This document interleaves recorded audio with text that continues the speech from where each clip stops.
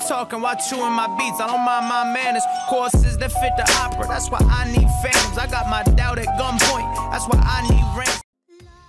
Yo, what is up guys, my name is Lethal Gaming and welcome to another video on my channel. Now in this one what I'm going to show you is how you can get the amazing looking boneless version of the Vapid Hot Knife. As you can see it looks absolutely amazing, there is no hood on it, in my opinion it looks so much better. Now this glitch has actually been patched before, but as you can see it still works, so I'm actually going to show you how to do this. If you do enjoy this video, make sure to give it a big like and actually subscribe to my channel to see more videos like this one. So anyway, let's just get straight into it.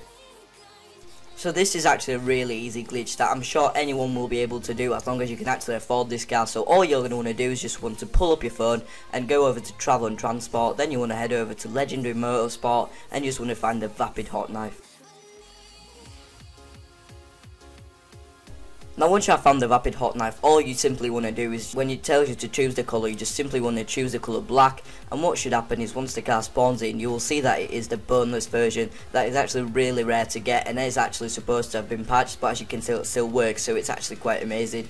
And yeah, that is actually pretty much it, you can upgrade this car, you can actually like change some stuff on the hood, whilst the hood is still gone, so it actually is quite amazing. And if you did enjoy this video, make sure to share it with your friends, like this video, and subscribe to my channel to see more videos like this and I will see you guys in the next one. Bye.